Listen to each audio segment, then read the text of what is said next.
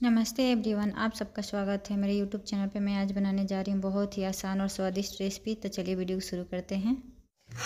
आज मैं बहुत ही कम चीज़ों से आप लोग को बेसन और सूजी का लड्डू बना करके दिखाऊँगी। ये बहुत ही सॉफ्ट बनता है फ्रेंड्स और खाने में बहुत अच्छा लग रहा था। आप लोग ये रेसिपी ज़रूर से ट्राई कीजिएगा। पाँच से छः मिनट के अंदर में ये लड्डू बन करके रेडी हो जाता है फ्रेंड्स और खाने में बहुत ही टेस्टी एंड हेल्दी होता है तो ये रेसिपी आप लोग ज़रूर से ट्राई कीजिएगा। तो मैंने सूजी और बेसन का लड्डू बनाने के लिए एक कप सूजी लिया है। उसी कप से एक कप मैं बेसन लूँगी। मेज़रमेंट ज़्यादा ज़रूरी है फ्रेंड्स आधा आधा बराबर लीजिएगा सूजी और बेसन और अच्छे से दोनों चीज़ों को हमें हाथों के सहारा से मिक्स कर लेना है। उसके बाद से मैं यहाँ मैन के लिए इसमें देसी घी डाल रही हूँ। ठंडा का दिन है तो घी को मैं हल्का सा गर्म कर ली थी फ्रेंड्स, क्योंकि घी जम गया था और घी को अच्छे से हम इसमें मैन देंगे ताकि हमारा लड्डू है वो रवादार बने और बहुत ही टेस्टी बन करके रेडी हो फ्रेंड्स।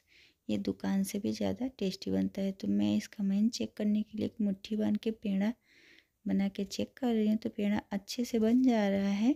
इसका मतलब हमारा मैन परफेक्ट है। तो देखिए फ्रेंड्स, मैं आज बहुत ही अलग तरह से आप लोग के लड्डू बना करके दिखाऊँगी।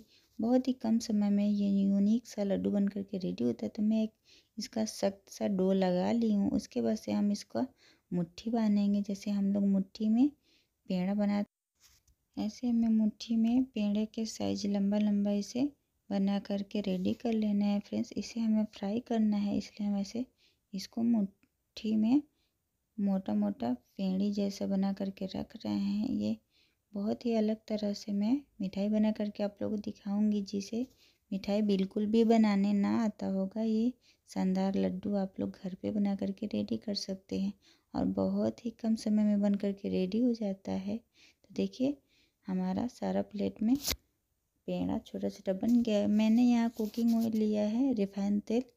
इसे अच्छे से मीडियम फ्लेम पे गरम कर लिया था और एक एक करके हम इसे सुनहरा होने तक फ्राई कर लेंगे फ्रेंड्स। उलटते पुलटते हुए थोड़ा पेशेंस के साथ इसे फ्राई करना होता है क्योंकि ये मीडियम फ्लेम पे ही हमें इसे फ्राई करना होता है। दस मिनट से ग्यारह मिनट का समय लग सकता है। मीडियम फ्लेम पे ही इसे सुनहरा गोल्डन ब्राउन कीजिएगा फ्रेंड्स। इससे ना अंदर तक अच्छे से पकेगा और ना बाहर से जलेगा नहीं, इसलिए दस से बारह मिनट लग सकता है। तो देखिए, एक बैच मैंने फ्राई कर लिया था। सेम प्रोसेस से दूसरा बैच भी हमें फ्राई कर लेना है। फ्राई करने के बाद से हमें जब ठंडा हो जाए तो इसे निकाल करके छोटे छोटे टुकड़ों में तोड़ लेना है, क्योंकि हमें इसे मिक्सी जार में इसको पाउडर बनाना है, क्रम्बल करना है। तो देखिए, हम इसे तोड़ लिए हैं और बहुत ही आसानी से टूट जाता है। उसके बाद हम इसमें मिक्सी जार में डाल लेंगे और इसका फ़ाइन पेस्ट बना लेंगे। तो देखिए, अब मैं कितना अच्छा से इसको पीस करके रेडी कर ली हूँ और बहुत ही दानेदार बन गया है। देखिए, आप लोग देख सकते हैं। तो उसके लिए मैंने क्या किया है कि एक पैन चढ़ाया है। उसी कटोरी में एक कटोरी पानी, एक कटोरी चीनी, हमें एक तार का चाशनी बनाना है और दो हरी इलायची मैंने कुट करके ले लिया था। मेरे पास पाउडर नहीं था। तो मैं खड़ा इलायची डाल रही हूँ। अगर आपके पास पाउडर होगा तो ज़रूर से पाउडर डालिएगा। अगर आज का रेसिपी पसंद आ रहा होगा तो प्लीज़ प्लीज़ प्लीज़ चैनल को लाइक सब्सक्राइब करना ना भूलिएगा फ्रेंड्स तो देखिए, इलायची का फ्लेवर आ गया है। मैं इसमें इलायची का छिलका निकाल करके फेंक दूँगी। उसके बाद से हम चाशनी चेक कर लेंगे। तो चाशनी चेक करने के लिए हमें एक तार का चाशनी चाहिए। देखिए ऐसा हल्का सा एक तार जब बने ना वैसे हमें उसके बाद से गैस ऑफ़ कर लेना है। कुछ मैंने ड्राई फ्रूट्स भून करके रख लिया था, काजू बादाम किशमिश। हमें यहाँ डाल के उसके बाद से चाशनी को अच्छे से चम्मच के सहारा से मिला लेंगे। तो देखिए, अच्छे से मैं चम्मच के सहारा से मिला ली हूँ, क्योंकि चाशनी गर्म था हाथ जल रहा था। तो मैं चम्मच से मिला रही हूँ। ध्यान से कीजिएगा फ्रेंड्स। तो इसलिए मैं चम्मच से ही कर रही हूँ। और अच्छे से इसे हमें मिक्स कर लेना है और जब मिक्स हो जाए तो हल्का सा ठंडा होने पर हमें इसका लड्डू बनाना शुरू करना होगा फ्रेंड्स। पूरा ठंडा हो जाने पर लड्डू बनना मुश्किल होता है तो थोड़ा गर्म में ही लड्डू बनाना पड़ता है इसलिए। तो देखिए, अच्छे से मैं इसे मिला रही हूँ। मिलाने के बाद से हमें अच्छे से हाथों से भी इसे मिक्स कर लेना है फ्रेंड्स, क्योंकि अच्छे से इसका जो चाशनी है सारे सूजी और बेसन में मिक्स हो जाए, उसके बाद से हम चेक कर लेंगे इसका लड्डू बन रहा है कि नहीं। तो देखिए कितना अच्छा से इसका लड्डू सॉफ्ट बन रहा है। इसे हमें अच्छे से हाथों के सहारा से दबा दबा के लड्डू बना लेना है। जैसे हम लोग लड्डू बनाते हैं वैसे। और हल्का हल्का बीच हाथों के तलवे में हमें इसे गोल गोल घुमाते रहना है ताकि हमारा लड्डू का अच्छा सेव हो।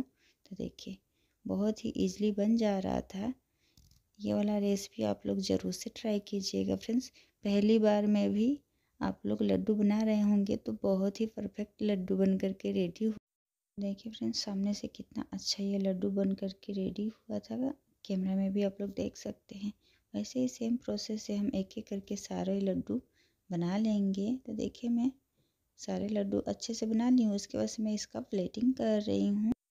अगर आज का ये लड्डू का रेसिपी आप लोग को पसंद आ रहा होगा तो प्लीज़ प्लीज़ प्लीज़ चैनल को लाइक, सब्सक्राइब ज़रूर कीजिएगा। फ्रेंड्स, बहुत ही मेहनत से वीडियो बनाती हूँ मैं और रात को बारह बजे, एक बजे तक मैं वीडियो का एडिटिंग करती हूँ। फ्रेंड्स तो प्लीज़ ज़्यादा से ज़्यादा इस वीडियो को शेयर कीजिएगा। तो देखिए, सुपर सॉफ्ट और दानेदार बेसन और सूजी का लड्डू बन करके रेडी है। फ्रेंड्स लड्डू को मैं पास से तोड़ के भी दिखाती हूँ। फ्रेंड्स देखिए कितना अच्छा बन करके रेडी होता है ये लड्डू।